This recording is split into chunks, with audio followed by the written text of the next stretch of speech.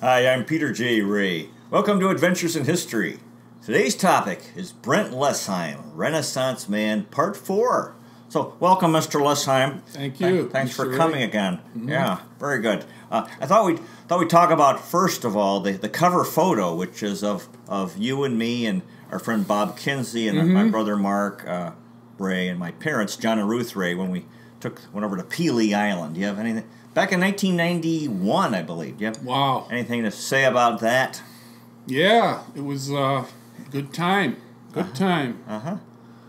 Yep. Have you, have you have you been back to No, I haven't. No. We- Uh-uh. We rode bicycles around Right. the island. Right. Yeah. Yeah. Yeah. Bob Kinsey with his uh, bicycle helmet. Right. Right.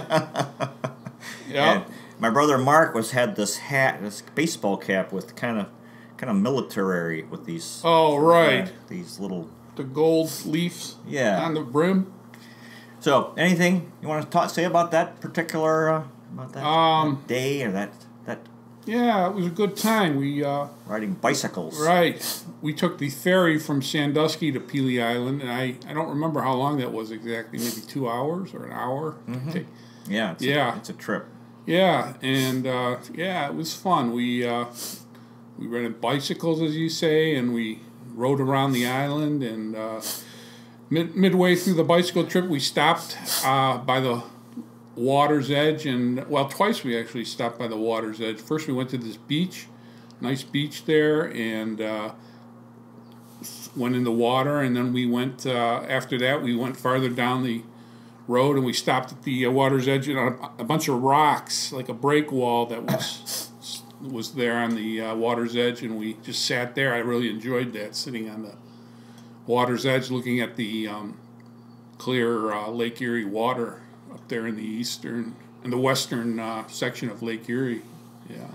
Did we we did we go to a restaurant or No, we didn't. you, no You brought uh, salami sandwiches. salami Yeah. sandwiches. and what- Yeah. Did we have drinking water? Um, we must have had some. Yeah, we must have had something because we couldn't have. Uh, I don't think we all could have made it. Uh, it was a pretty. It was a decent trip, long trip around the island. I mean, it took. I think maybe we were gone on that bike trip. Maybe I don't know. Five hours, maybe more. Yeah, we take it. There's a. It's a pretty big island. Right. You take a. You know, the, go around the perimeter all Right. the way around. And Right. It's cool because it's here. It's this island in Lake Erie. You know, so you're Right. You're looking at the water and uh, it's cool. The far, farmland in the middle. Right. Yeah. Yeah. exactly. You see the farmers in their trucks. It's it's can it's it's Canadian. So you, Yeah, the Canadian yeah. they'll wave at you. Remember when they wave at Yeah, you when you're yeah, yeah. they're in their trucks driving around. Yeah. Yeah. that was friendly. Yeah. Oh nice. yeah, it was. Yeah. Oh, really nice. I have to. I I, I went. Uh, that's that was the second time I went. I haven't been back. Also, we, we should we should go. Mm-hmm. That would be a very Yeah. very doable thing we could do. Yeah, take take Tim. Now, Brent, you and I have been friends for since 1986, Mm-hmm. 14, ni- so it's 33 years. I'm not, and we've spent a lot of time together talking. Yeah. I, I know your. I feel like I know your life pretty well. So I. Uh, Yeah. and there there are parts of your life that I find very you know interesting and Yeah. and I think one probably my favorite is uh, when you were you were reading Canterbury Tales Right. well which was written by who's the author of that Um, I'm sorry, I don't know right I now. can't I can't think. Yeah. anyway famous book Canterbury Tales uh, Right. and you were living on West in an apartment on West 98th Street Right. and to me I thought that was that showed such nobility of character and even though you don't particularly embrace the the soul the Renaissance man uh, uh, uh, uh, title which has, has been uh, thrust upon you yeah. but that to me that that was such an amazing thing that you know here you're in a tough situation Yeah. and you had you had depression Right. right and then you were trying to improve yourself Right. wonderful Right. you want to talk about that experience that time in your life and Yeah. and reading that book and that whole what you were going through back then Uh, well, it was a very difficult time. Um, I had moved into this apartment. It was a uh, government housing for disabled people, and uh, I was very depressed. And uh, I had to try to divert my mind from my environment because it was, um for me, it was a pretty negative environment from where I came from. Um, I came from a better environment growing up in Rocky River, and then I ended up living in this apartment in Cleveland, and uh, it was a rough neighborhood, and uh, so there was a lot of stuff going on, and I I tried to divert my mind by reading uh, Canterbury Tales. I read some Shakespeare. Shakespeare. yeah. It's amazing. Well, Wonderful. yeah. Even though I don't, uh, you know, I know Shakespeare is is the uh, classic uh, literature. It's uh, it's definitely the thing to read, but it's hard to read for me. And uh, but I heard it was something. Someone told me that it was uh, really, if you were going to read something, read Shakespeare. Actually, my guru told me that.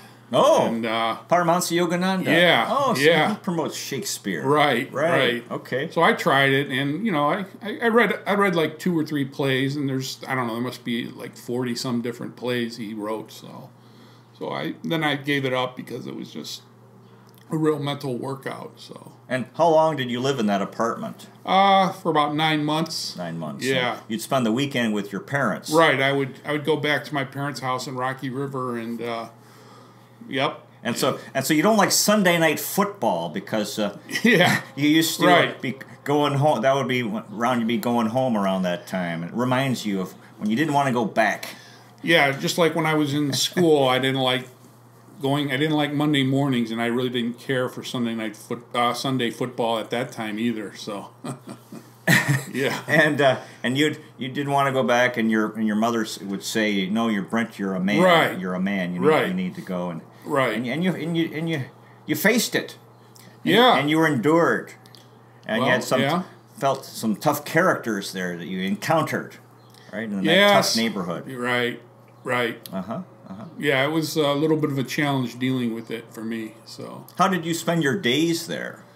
uh, well, I mean, I would, uh, I really wouldn't spend much time there. I would basically just, uh, you know, most of the day I'd go to my parents' house, and then I'd come back in the evening, and uh, you know, I'd go to sleep, and uh, then I'd wake up, and after I woke up, I would pretty much go drive over to my parents' house from that place. So, yeah, But I then uh, on, on Friday and Saturday night, you'd stay overnight. yeah, that's They- right. they let you do yeah, that. Okay. yeah, right. Okay. Mhm. Yeah, yeah. How about uh, your experience? You worked at Herb's Tavern in Rocky Right. River as a cook. Right. And I like that story because you were you were had all these uh, burger patties on Right. the grill, Right. And uh, with the bacon and Right. and uh, mushrooms and Yeah. cheese and a lot of orders. And Yeah. how long did you work at Herb's as a cook? I worked there six months. Six months. Okay. See, I find that very yeah. To me, it would be. Uh, I think wow. I don't know if I that would be very tough. All these keeping track of what you got Yeah, do. yeah. It was it was a workout. It Wanna- was a good workout. You want to talk about that experience? Well, it was a uh, it was a good job. I enjoyed doing it, and uh, the owner was real nice. Uh, her name was Kim, and uh, I don't know if I should give her last name, but uh, anyway, she was a real nice person, and she still owns the place. Okay.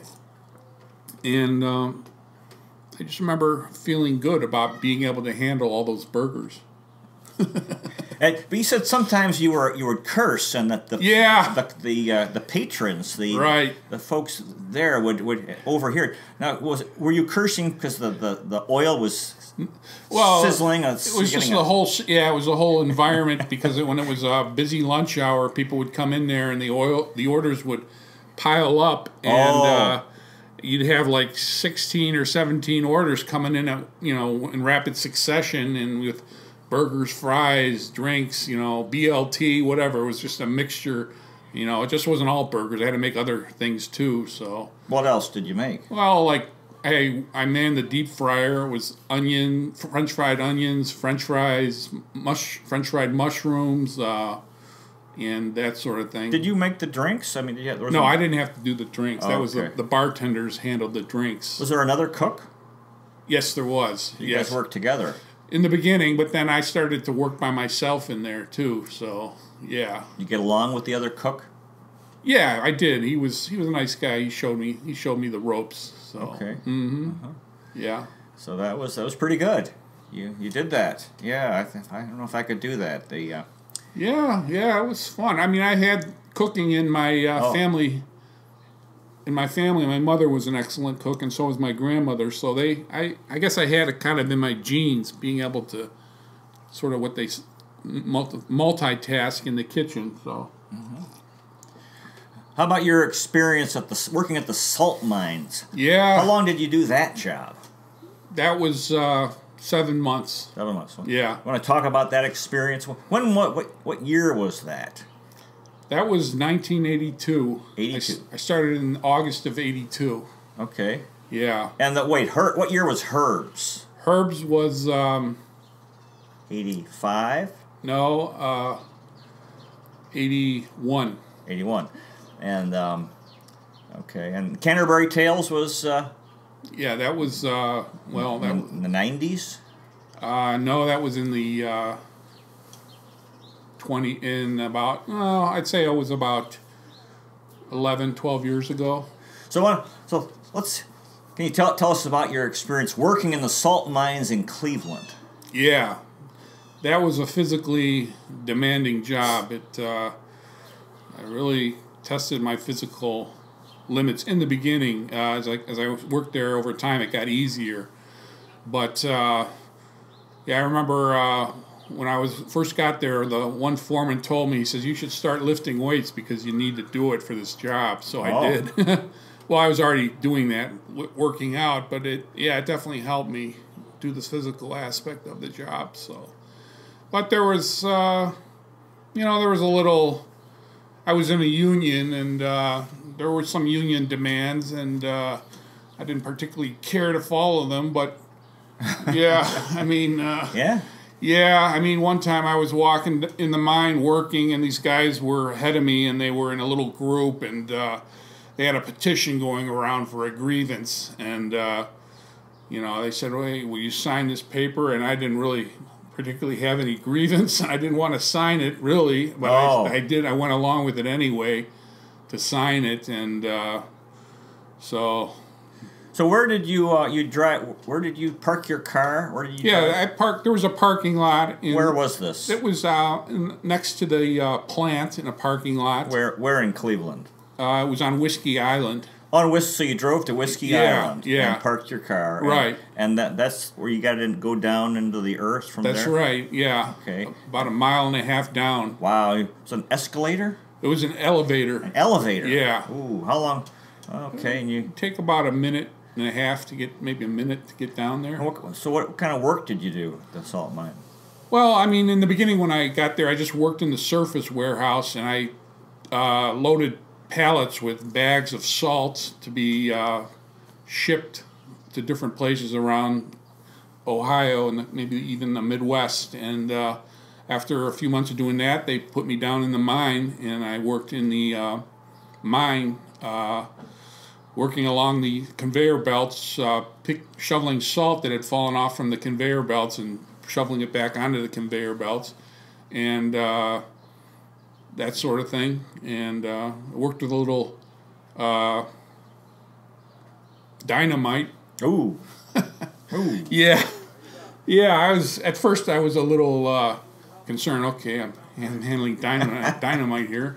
Yeah, it was. Uh, and uh, I worked with this Scottish man. He was from. Uh, He would go all around the country, and he would do this job. It was called. He was a muck swamper, and he was where he would go down into the bottom of the shaft, and where all the mud and everything collected and debris, and he would have to clean it out just to keep the shaft running properly. And so uh, they put me on a job with him once. We, we had to dynamite uh, sa- the salt so uh, a front end loader could come and pick it up and take it to the uh, processing area. And that was a very hard job. Was, thank God it was only for two days because my hands were spent after that working at working a drill there. And uh, It's where you didn't have. You needed a glo- glove. I needed gloves, but I didn't have any. Yeah, yeah, yeah. You had your on your hands on this drill that was on the, rotating. on the drill bit. Yeah, it was a drill bit, and uh, I had to hold it like this to keep the drill set, steady while he while he held, held the drill because it was a heavy drill. It was about fifty or sixty pounds, and uh, so it took two people to operate this drill.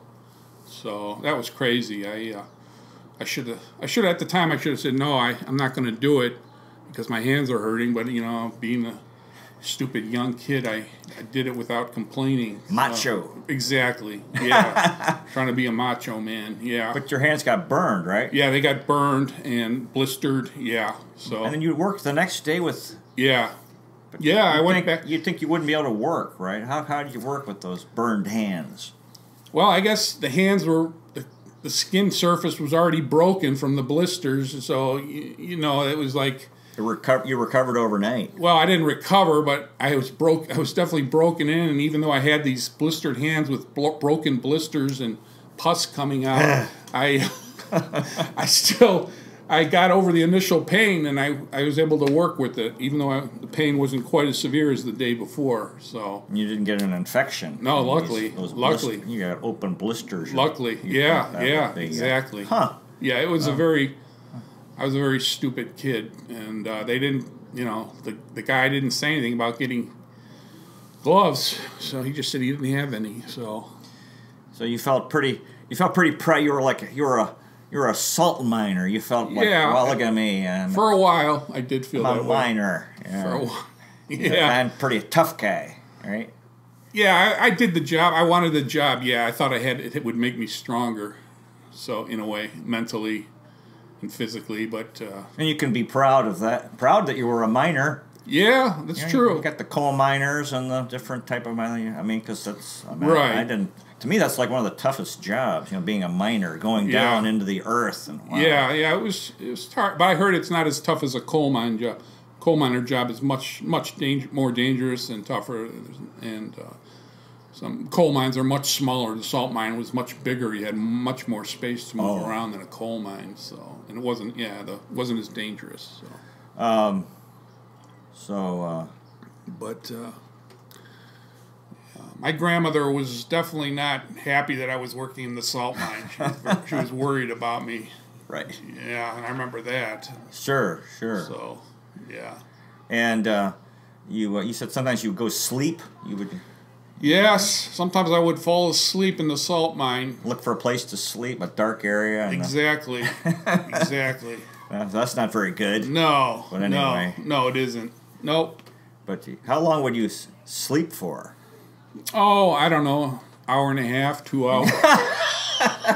And then and then you got away with it. I got away with it. I think they Where the heck have you been last time? exactly. Well, no one ever said that, but uh, yeah, I, I think they knew I was up to shenanigans. So yeah, yeah, Uh, let's see. How about the time you worked at a, at a car wash? yeah. Uh, What that- year was that? Um, I'd say that was uh, let's see, uh, hmm, twenty years ago Where was the car wash? uh, in Cleveland on the west side of Cleveland. Okay. Yeah, yeah. How long were you there? Uh, I was there for about uh, hmm, I'd say mm, six months maybe. Yeah, Yeah, and I've never gotten over the disappointment when you were you were talking about the vending machines Right. that you would stock right. or restock, and Right. I always assumed it was. I imagine Brent, you know, with the M and M's and the Snickers, Yeah. and Reese's, and so Yeah. forth. And it turns out, to me, that sounded pretty fun. A fun thing to do, and it, Right. It turns out it, there were cleaning supply, car cleaning supplies, right? That's right. yeah, car cleaning supplies. So tell us about that job.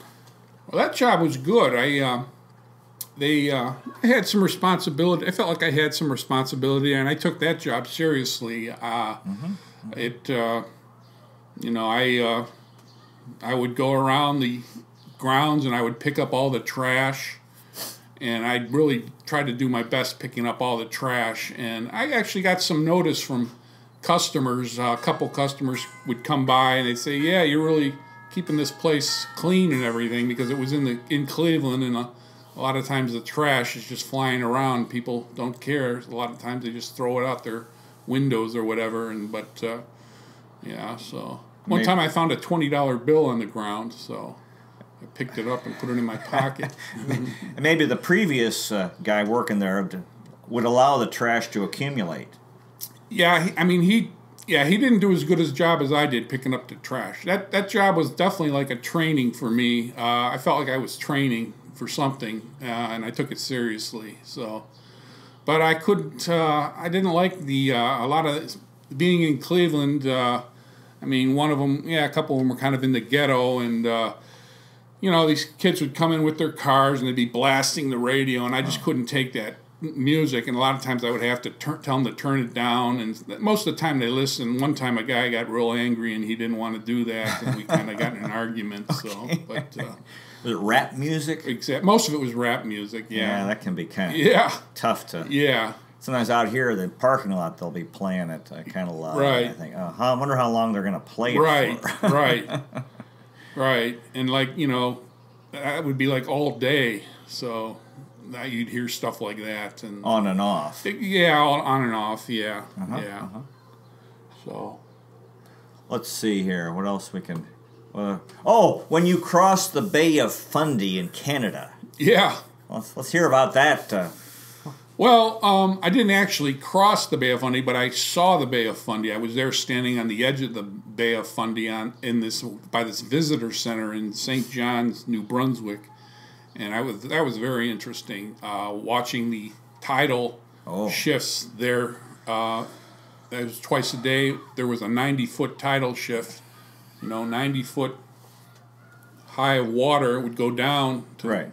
yeah, it was very interesting to see that. I heard about it when I was, I actually saw it when I was a kid in elementary school. We watched a uh, documentary about the Bay of Fundy, and I, I always thought that was interesting. Mm-hmm, Yeah. and you could really see it going up and down because it's. Or kind of. Oh yeah, I mean the water, the water. There was like a river on the St. John's River, and the water would just rush out at a certain time of day, Uh-huh. and in the morning it would rush in like a torrent of a torrent river, and it was uh, very cool.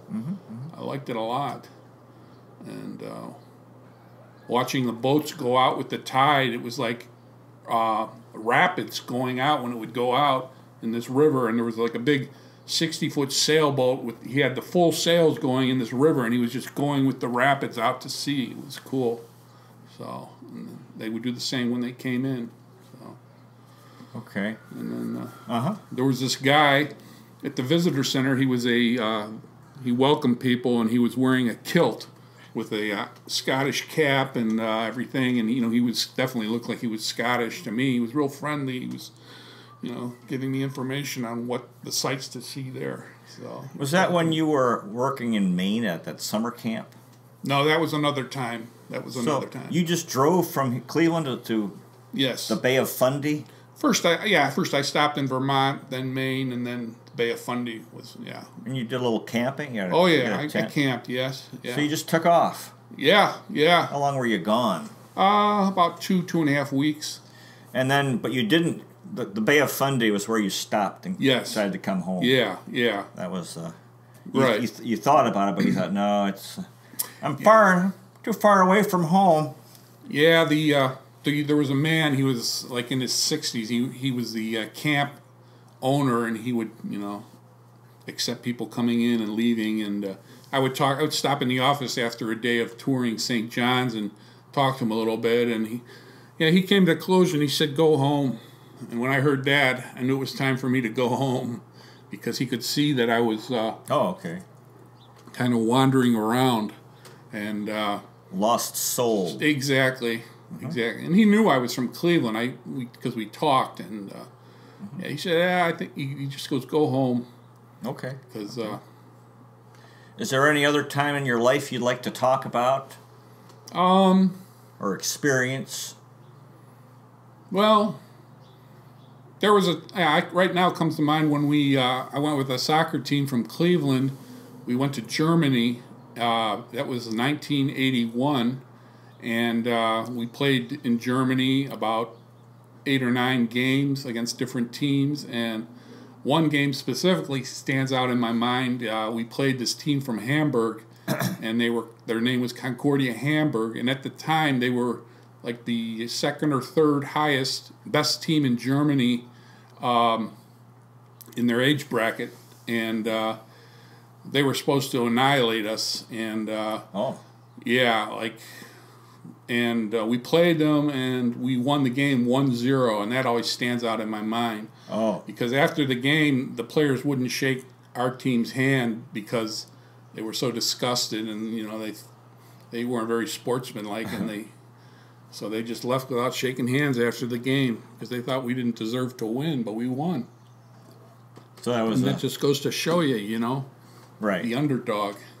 Yeah, they thought, oh, these Americans, they're Right. not good at soccer. And Right. The Germans are great at soccer. Exactly. Right. Uh-huh. And we we beat them, and we we were told before the game, oh, we'll be lucky if we get to come out of the game losing six to nothing. So, How old were you? uh, seventeen. 17. Yeah, Okay. yeah. And I had a friend. I well, I had a couple friends, two or three friends on the team, and uh, the one friend was uh, his name was Peter Lenihan. He was Irish American. He lived, he was from Cleveland, and he scored the winning goal. And I remember he was just jubilant after scoring. We were all jubilant after scoring that goal because that that game they were literally bombarding us with shots on goal that would hit the post or just miss. Or our, well, our goalie was outstanding. He was like the best player on the team that day, so he saved us. Was it one to nothing? Yes. Okay. Yes. All right. Yes. Very good. Yeah. Very satisfying. Oh yeah, it was. You still feel pride Yeah, I do. I do. Yeah, being a great. part of something like that. Right. I, I, I underestimate really the uh, the moment and the time. I mean, that was a great thing. That was a great accomplishment for Right. me at the time. Right. So, Uh huh. Okay. yeah. Anything else from your life that comes to mind you'd like to get into? Um. Well, I don't know. Uh, I just know meditation and uh, yoga meditation through. I learned. I was introduced to it by you, and that has literally changed my life. The SRF teachings, and uh, that has, yeah, that's saved me from from myself, from self destruction, and I'm very grateful for that. Self realization Yes, fellowship. yes, So it's help with your severe depression yes, and uh, Yes. and recovery. yes, yep, yep, Okay. yeah, yeah. So same same for me. Uh huh. And we're in the same boat. Yeah. Right. Best thing in my life by far. And we have the picture of Paramahansa Yogananda back there, who's our, Right. our guru and the who, a great saint who uh, Right. who's um, he, yeah, it's, it's one, incredibly powerful and amazing, and Yep. helped me to be uh, happy and happy and productive. We both have had depression, and uh, Yeah. and SRF's just yeah by far the best thing in my life, and uh, Mm-hmm. so on. and I'm happy for you that it's you found the same. That's one of the, one of the things we definitely have that in common. Right. You know, we Thank know, you. We know how much it's how helpful it can be for Right. anyone willing to you know mm-hmm. to make some effort. Oh yeah. And, uh, yeah. So Yep. Mm-hmm. Yeah. okay. So my, my life has really gotten better in the last year and a half because for 15, 16 years I was in a very deep, deep depression and uh, I came out of it about a year and a half ago. Gradually, I've come out of it, and I, you know I'm not saying I'm perfect, but it's helped. Uh, It appears we're out of time. Thank you so much for coming today Thank and you. participating Thank and, you. and making another another uh, Yeah. Mm-hmm. uh, presentation. So we'll we'll we'll come we'll come back. Uh, we'll do this again. Okay. So Okay. anyway, so uh, dear viewer, thanks again for watching. Really appreciate it. You might consider checking out our website, Adventures in History with Peter J. Rea at peterjrea.com. Thank, thanks so much for watching. I really appreciate it. God bless you. Take care, and I'll see you next time.